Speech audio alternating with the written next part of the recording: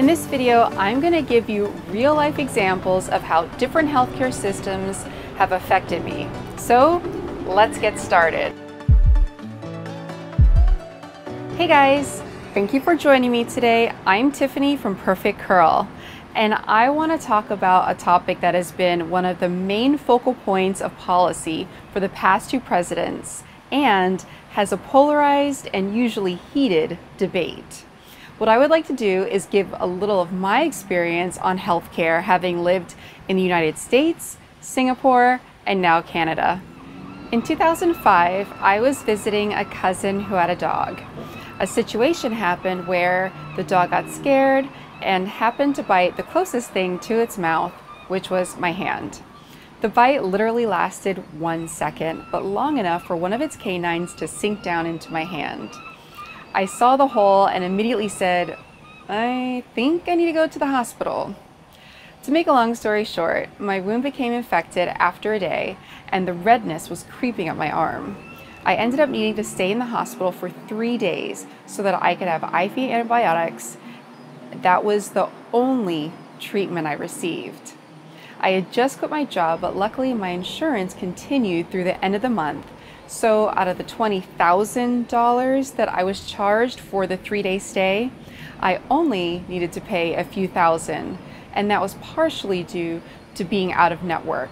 However, the fact that a stay in a bed, meals, and IV antibiotics cost $20,000 is frightening. Fast forward five years, I'm now living in Singapore, a city state with one of the highest costs of living in the world which offers universal health care.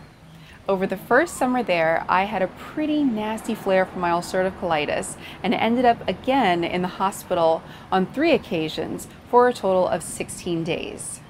The total cost of my treatment was about 10,000 Singapore dollars or just under 7,500 US dollars, which I had to pay out of pocket only because it was pre-existing, meaning I got sick within the first year of coverage and it wasn't covered by insurance. I had numerous tests, IV medications, albumin transfusions, blood transfusions, the works. Now, some of you might be thinking, well, the care isn't as good as in the States. Okay, maybe Singapore might not have as advanced facilities as there in the States, like Mayo and Cleveland clinics, but there was a team of doctors who treated me, and I do know that at least two trained in the US.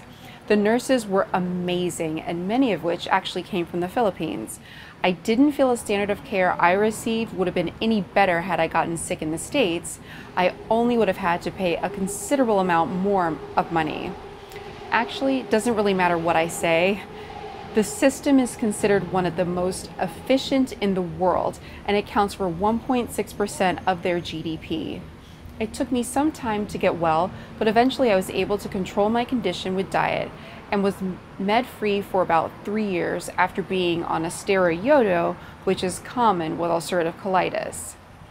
I thus moved to Canada five years after that flare, which has a single payer system and their expenditures account for 11% of their GDP. I decided that it would be in my best interest to go back on medication since I wanted to get pregnant. Going on meds helps to ensure that inflammation is controlled and that my diet could be expanded. I went to a walk-in clinic to see a general practitioner so that they could refer me to a specialist, which in my case would be a gastroenterologist. She did and my appointment with him was set for three months away.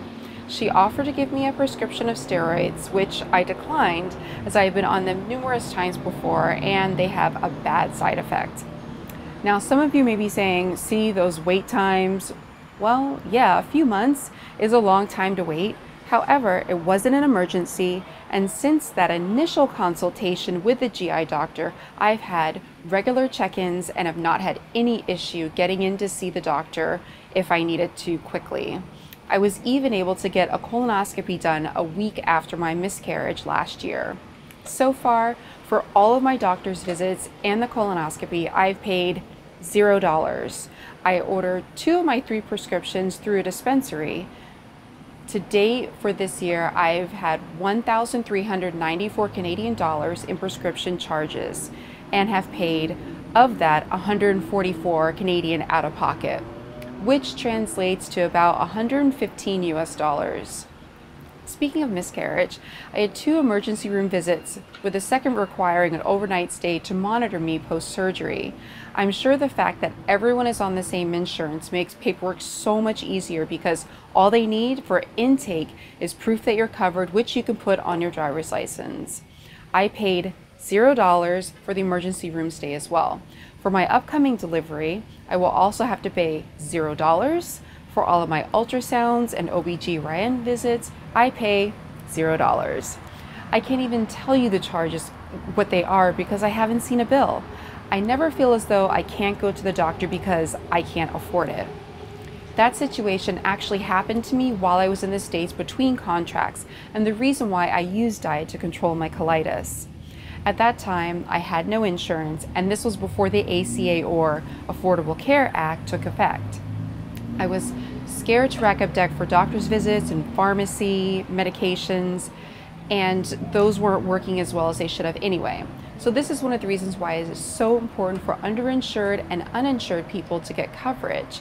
This population is usually poor and won't seek care until it is an emergency because of financial constraints, which drives up medical costs.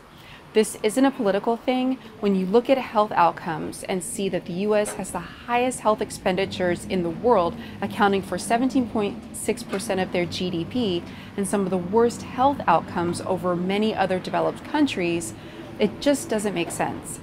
It boils down to access because we all know that the US has some of the most advanced medical centers available. No, there is no perfect system, and I'm sure that with any system anywhere in the world, we can cherry pick the flaws because certainly there are things within the Canadian system that could be better. However, that doesn't mean that the states can't learn from Canada and other countries who are doing some things right and pull from those. Instead of focusing on things that are going wrong, which is so popular in the media, why can't we focus on the good? If we want better health outcomes and less burden on the system, a few of the goals should be everyone participating in preventative care, staying on top of chronic illnesses to keep them in check, and educating the public on better health habits. These involved working together to make sure that all people have access to basic care. I'm not here to tell you one way is better than the other way. I just hope that giving you my firsthand experience, it can shed some light on the glaring differences between the systems. I hope that this information has been helpful and please comment below and let me know how you think the healthcare system in the States can improve. Peace.